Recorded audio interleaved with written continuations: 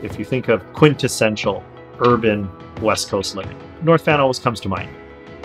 It really is the perfect spot right between the, the ocean and the mountains.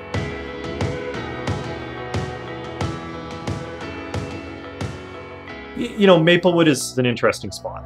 What's really happening now is you're getting true amenities that service the community. So when you think about the North Shore, you start to see these nodes developing. It's getting the right amenities that are sort of anchoring what it needs. You've now got Stong's grocery store all of a block and a half away from here, the Great Canadian Superstore. So what's really going to be interesting about the development of Maplewoods, it's got great accessibility. It's something that's connected to Lower Lonsdale, which gives you connection to SeaBus, transit, a whole bunch of other things. You've got Phibbs Exchange around the corner. You've got the Mountains Cap College and the highway right outside your doorstep. That all makes it an unbelievable location. It's really about lifestyle.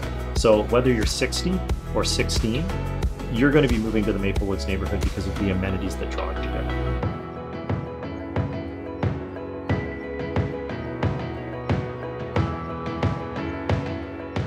Maplewood was never considered by most people on the North Shore of the Lower Mainland to be one of these village centers, and now it's getting all the pieces that are really going to become attractive at a price point that people will gravitate towards for getting onto the North Shore, getting back to the North Shore.